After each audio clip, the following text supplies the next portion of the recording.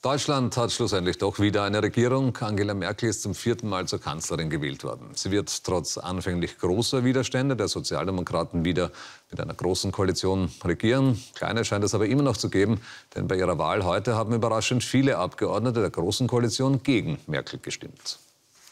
Es war knapp, aber es reicht. Angela Merkel wird zum vierten Mal gewählt, mit nur neun Stimmen mehr als erforderlich. Frau Abgeordnete Dr. Merkel, ich frage Sie, nehmen Sie die Wahl an?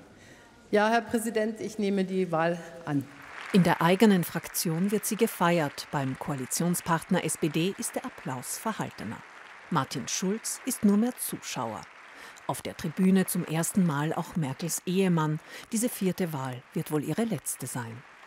Bei der Kanzlerwahl ist eine so hohe Zahl von äh, Abweichlern schon ein sehr deutliches Signal der Unzufriedenheit.